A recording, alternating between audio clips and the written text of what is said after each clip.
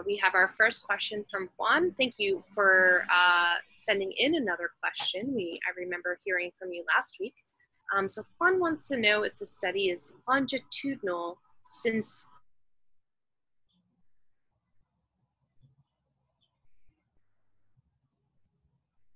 I think Jeannie went out for a bit. Did we lose Jeannie? Yeah. Oops. That's all right. I can I can take over. Um, well, let me start by once again thanking you, Odaelys. That was a really really fantastic presentation, uh, and I'll pick up from where Jeannie left off on the question from Juan, who is asking if the study was longitudinal because the uh, sample sizes changed between each range of days that you were showing. So if the I'm study- back. Oh. Yeah, sorry. we all face internet problems, right? Um, I think that this question actually is like, why are there different numbers of patients? Like, Because it's not the same. It's not. And because they're looking at, they're asking different questions. So in that first figure that I showed you, where they're just looking at the presence or the detectable amounts of antibodies, they're looking just to see if all of the 285 patients, if they're able to see if they have IgM or IgG antibodies. Now, out of those patients, you can't really look at when uh, the time course of the production of the antibodies. So they then took out data sets where they have multiple serum samples. So about 200 of the patients, they only had one blood sample from the patient that they're able to analyze from. And from that one sample, you can only see, oh, I see IgM, oh, I see IgG, and they use that in a particular um, graph. Um, in the other data sets where they're looking at from being negative for certain antibodies to being positive, they can only use the ones that they have multiple serum samples. So yes, the the samples differ based on the questions that they were trying to ask. I think that Cool, answers- thanks. And that- that makes I can hear you- I can hear your blue jays in your backyard. Oh yeah, I know. I've been like, Yeah. sorry, this is off, but I've been using the phone to detect They're what birds. so loud. Yeah, they are. Really Yeah. lovely though. yes, it is actually. Um, okay, well, let's go for question two then from um, Urania Davis, who asks how long the IgG needs to be present in order for us to consider a patient immune. we have no idea. um, and so yeah, we're really trying. Uh, well, not me in particular, but scientists are really trying hard to figure out um, if one does it. Is there a difference with how much IgG antibodies you're producing? Does it matter if the IgG antibodies are neutralizing or not? And also, do the antibodies do seem to decrease over time? And so, because this is a recent situation, we don't have the samples necessary to kind of answer that question. And so, if someone's been infected in February, it's only been what three months, and so we can't really predict what their immune system is going to do in the next six months. Um, but based on other um, infections that are similar to SARS-CoV-2, like SARS and MERS, um, immunity seems to be around a year or two. So scientists are kind of going off of that. But once again, we're still unsure.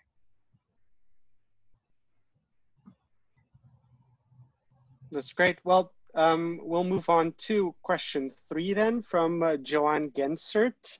Uh, he asks about subtypes of IgGs. Yeah, so could they you talk a little bit about those? Yeah. um, so you're getting really nitty gritty. Um, so they are, um, I think, four subtypes of IgG. The authors do not indicate what subtypes they are. I briefly read something. Um, no, I think that was something else. I'm not sure if I've read a paper that specified the subtype of IgG that they're looking at. It may be in the new paper um, that Rockefeller University put out because they actually did a sequence analysis of all the antibodies that are produced. And I'm pretty sure they might have a better idea of what those subtypes of IgG are. Um, so there are clonal differences with the, the IgG antibodies that are produced. And these clonal differences do seem to have a connection with how good they are at neutralizing infection. But that's a good question. All right, cool. I think related maybe is uh, Joanne asks again, was there a correlation between the different seroconversion times, I think, and the deaths versus survival or release from the hospital?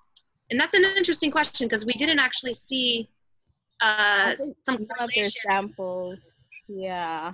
Um, so from the paper, I don't think they I don't think any of the patients succumbed to infection. Um so I don't know the answer to that. So they did not follow the patients after they're released from the hospitals. So I can't I can't actually answer that question based on what the authors presented. Yeah. Yeah, yeah. This is an important question, and I think yeah. you know folks are on it, and hopefully we'll get more data uh, to give a bigger picture of that later on. Okay, that's great. And um, Aditi is back with another question, uh, question five for today. She asks if the IgG antibodies are specific to spike proteins or if they're just a general response to the virus. That's a really good question. Yeah, that is a good question. Um, so with the IgG antibody, so in this particular test, the assay that they use, the antigen that they use to detect the IgG and IgM antibodies is an antigen that has both um, parts of the spike protein and parts of the nuclear protein. Um, and so it, they're kind of like lumping them in one.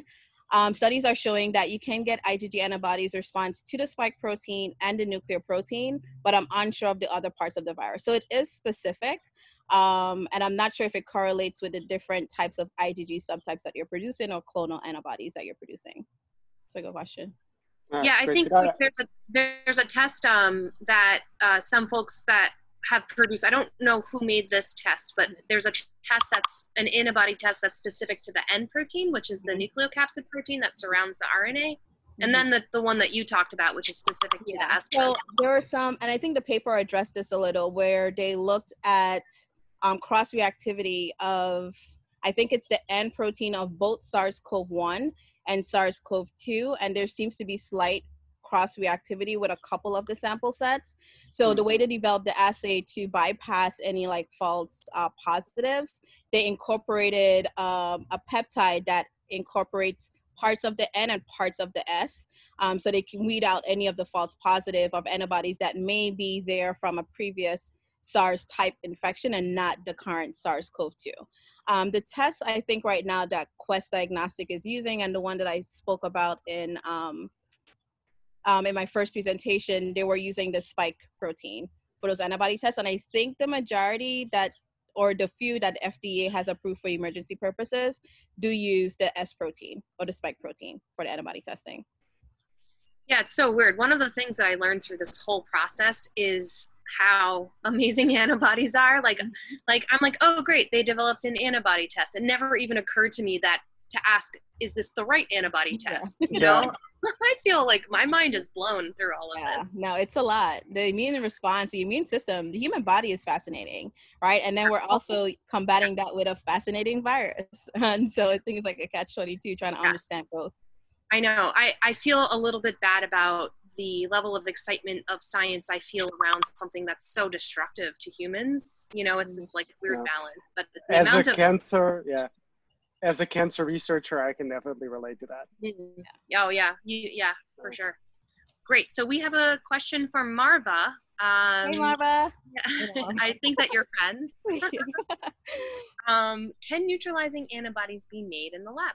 That's a really good question. So that paper that I pointed out um, in the end that Rockefeller put out about a week ago through the preprint bioRxiv, their goal is to somehow or is to make these antibodies in the lab. So what they're looking at, they're looking at the different patients. They're um, looking at their antibodies, they're sequencing the antibodies that they have, and they're trying to use that sequence to produce the same antibodies that seem to have really high neutralizing capabilities.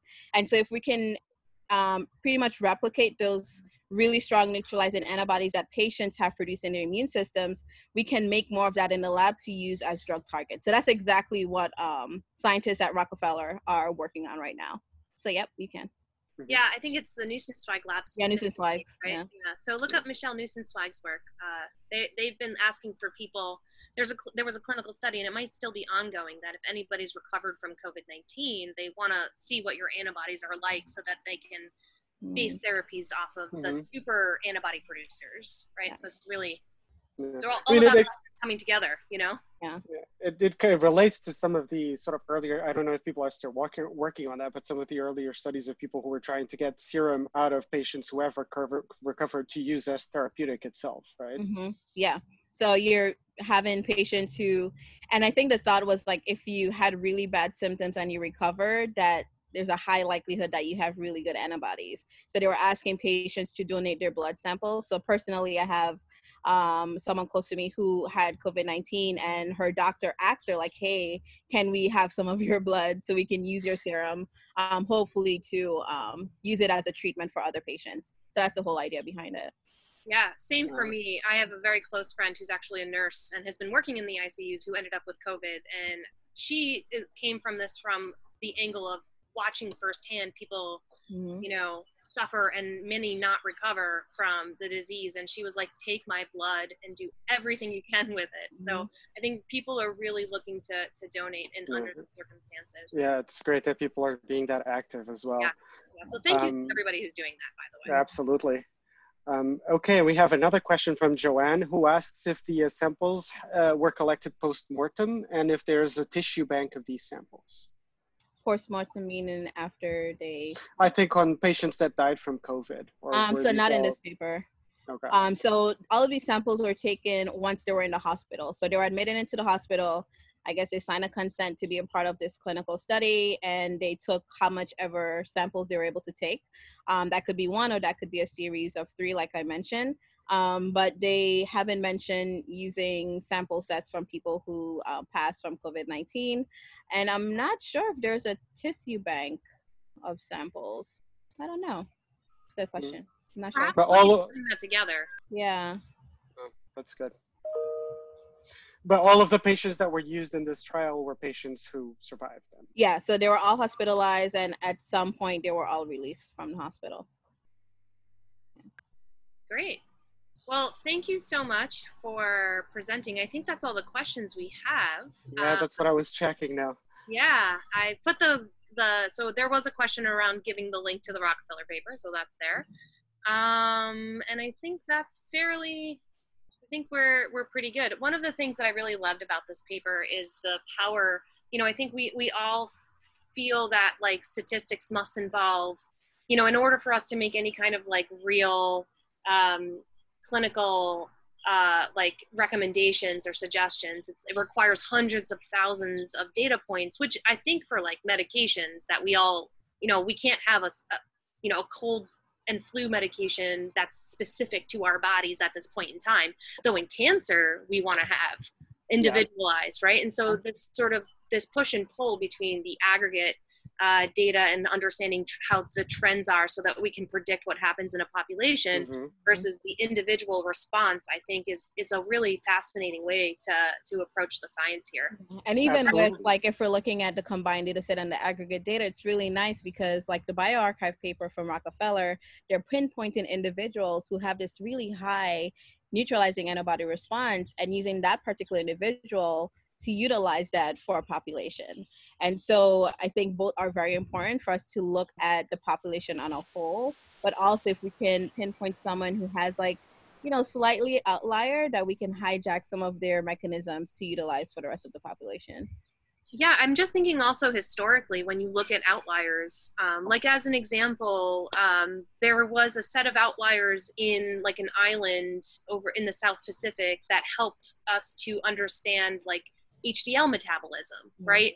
And and sometimes these genetic outliers are are open up doors for us to understand some new phenomenon about the human body. Mm-hmm. Uh, so um, it's really good that we are taking all of this data in, and that there's people who can try to make sense of it in some way, shape, or form. And the style and the and put applying the different styles of reasoning uh, onto a question so that there's multiple angles being explored for any specific question. I think is really important as well and the and the fact that it's you know as you mentioned earlier such a strong collaborative effort involving different hospitals and everything which is such an important part of science.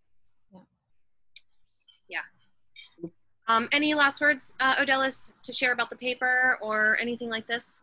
Um no i don't have any other comments or questions. Um so there is one actually one more question from Facebook, and it's around IgMs versus I guess it's maybe IgMs, and I'm I'm assuming it's in the context of IgM versus IgG. It says mm-hmm. here, IgMs lower, you know, and mm-hmm. you know, and and and I maybe we can talk about it from lowering. Yeah. Um, hey, Ferdy. Um, so, uh, so I think one of the main takeaways is that IgM seems to be maybe important for triggering the response for IgG. I don't know if there's a way that we can prevent the lowering or if that would help. Because even when IgG, IgM is lowered, you're still getting production of IgG. And I think the important takeaway is that we want the IgG levels. Um, and it doesn't seem to be that IgM may be that important for like, you know, combating this infection well. And that's just me thinking about all the other papers that I've read. Um, maybe scientists are realizing that it does have another role to play, um, but I'm not sure.